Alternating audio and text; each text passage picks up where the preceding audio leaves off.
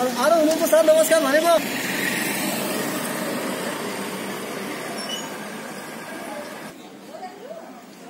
अत्यावश्यक आवश्यकताका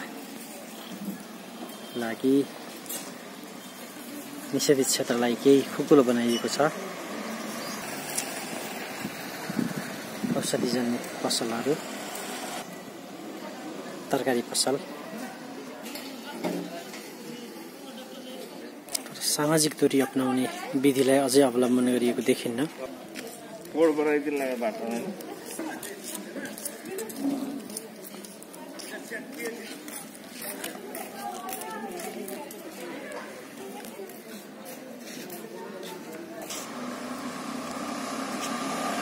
निकै लामो समयदेखिको लकडाउनले अप्ठ्यारो अवस्थामा छ नेपालगञ्ज।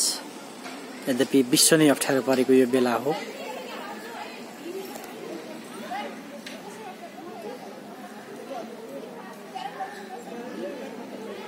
निषेधित क्षेत्र घोषणा गरेर लकडाउनलाई कडाई गर्नुपर्ने स्थिति आएपछि त्यसबीचमा आइपरेका अप्ठ्याराहरूलाई सम्बोधन गर्न स्थानीय प्रशासनले बिहान एघार बजेदेखि दिउँसो तिन बजेसम्मका लागि निषेधित क्षेत्रलाई केही खुकुलो बनाएर अत्यावश्यक आवश्यकताका लागि बाहिर निस्कन पाउने व्यवस्था मिलाएको छ। यद्यपि कारण खुलाउनु जरुरी छ। सामाजिक साधन प्रयोग गर्न पाइँदैन निषेधित गर्ने भनेको छ कब्जा नै गर्ने भनेको छ। यदि त्यस्तो भयो भने जफत गर्ने कानुनी व्यवस्था गरिएको भनिएको छ। त्यति हुँदा हुँदै पनि मानिसहरू सवारी साधनहरू प्रयोग गरेका देखिन्छन्। तर प्रहरले कुनै त्यति धेरै कडाइ गरेको छैन सचेत बनाइरहेको छ भने सायद नलिएर हिँड्न अत्यावश्यक परे मात्रै हिँड्न। सबैभन्दा अप्ठ्यारोमा अहिले यो खालका मजदुरहरू अपाङ्गता भएका व्यक्तिहरू छन् लकडाउनको मारमा। सामाजिक सुरक्षा भत्ता समेत वितरणमा अप्ठ्यारो परिरहेको समाचारहरू प्रकाशमा आइरहेका छन्। हामी सबैले यो खालको अप्ठ्यारोलाई मनन गर्न सकेनौँ भने यो लकडाउन कति परसम्म जान्छ भन्न सकिन्न। नागरिकले पाइरहेका शास्तिका बारेमा सरकार पक्कै पक्कै जानकार होला। ढिलो चाँडो सामाजिक दूरी अप्नाएर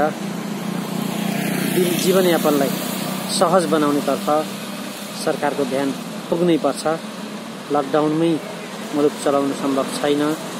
जनताले सामना गरिरहेका अप्ठ्यारा राज्यले बुझ्नुपर्छ भने जनताले राज्यले गर्न खोजिरहेको प्रयासमा सहयोग गर्नुपर्छ साथ दिनुपर्छ। अत्यावश्यक बाहेक घरबाट बाहिर ननिस्कौँ र निस्कनै परे सामाजिक दूरी बनाऊ।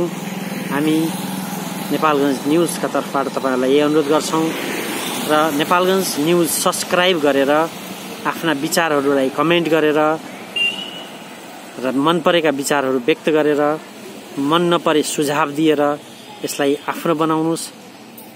आफ्नो बनाएर निरन्तरका खबर र खबर बन्न नसकेका विषयवस्तुका खबर समेत हामी तपाईँहरूलाई जानकारी गराउँछौँ सुसूचित गराउँछौँ। त्यसका लागि तपाईँ सब्सक्राइब गर्नुहोस् र यो च्यानललाई आफ्नो बनाउनुहोस्। नमस्कार।